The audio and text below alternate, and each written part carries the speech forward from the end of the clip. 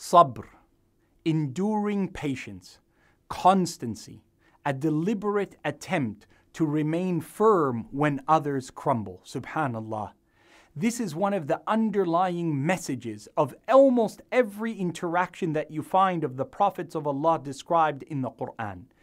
فَصَبْرٌ جَمِيلٌ let your patience, let your endurance, let your constancy, let your conviction remain beautiful all throughout for other people to witness it. Our Prophet Muhammad sallallahu alaihi wasallam, he would say.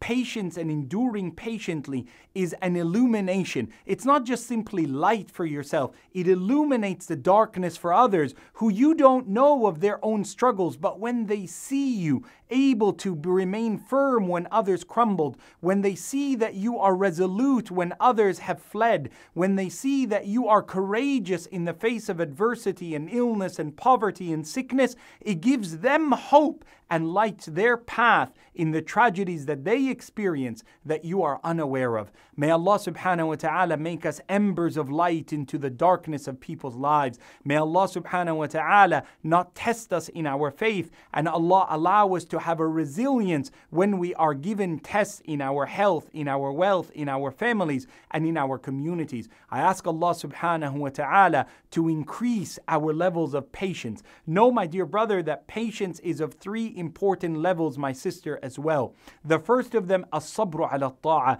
to be patient in fulfilling the objectives that Allah ordered. And that is the most difficult part of remaining firm and patient. To wake up consistently every fajr with your family, with your kin, with those who are obligated, that you become regular in your privacy in a way that other people need not be aware, that you do what Allah has asked when it's difficult. As-sabru ala ta'a, to be deliberate and constant and and enduring in that which is good. Then as-sabru anil ma'siyah, to be patient to stay away from sins. That's an easier task than to remain firm upon the good deeds, that Allah keeps you away from the haram. And third, to have patience when calamity strikes. And for you to find endurance and patience in a moment of calamity, it is built on your patience of being enduring in your worship and relationship with Allah and being distant from that which is haram. Those who we see breaking down and crumbling at moments of crisis when they are struck with tragedy, it's not just because their hearts are weak or that they don't have constancy. It's because in their past there were moments where they let themselves down in their relationship with Allah and therefore find it difficult to find resilience and patience in Him at that moment.